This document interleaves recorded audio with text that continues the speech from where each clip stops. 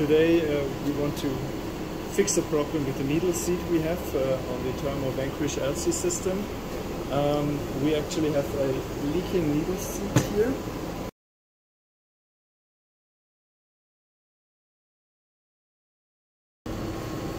So we have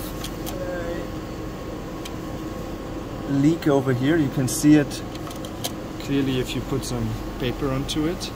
Um, furthermore, you can also see it by checking the pressure um, on the system. You can see now we have roughly 400 bars. Um, and if we switch to bypass mode, we can see that the pressure is rising, which is indicating a leak in the um, needle seat. So we're going to, going to change the needle seat. For this I'm going to stop the flow and wait until the pressure is dropped.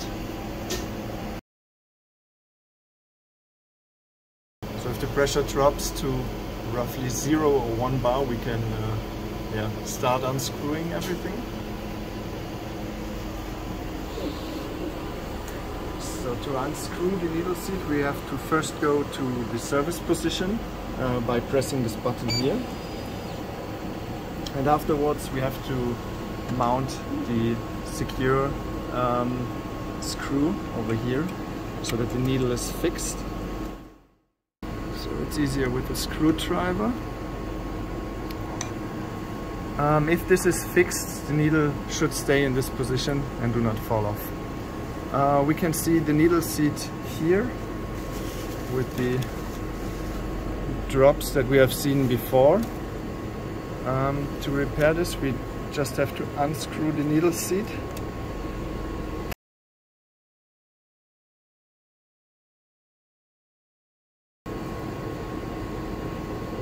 So this is the old needle seat and we have to reinstall the new needle seat the same position.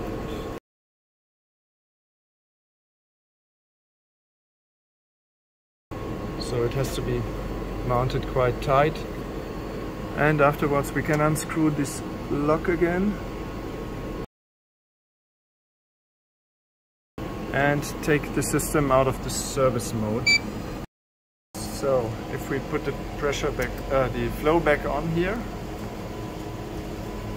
we should see a stable pressure profile in injection and in bypass mode.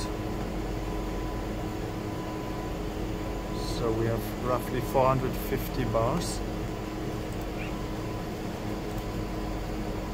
And we have roughly the same value in bypass mode.